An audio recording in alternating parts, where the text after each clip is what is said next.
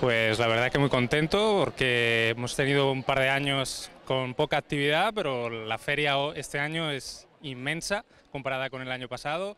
Hace un tempazo, un montón de gente, se ve muchísima actividad. Yo, por ejemplo, soy muy fan de Juan Eslava Galán, que tiene un puesto cerca de aquí.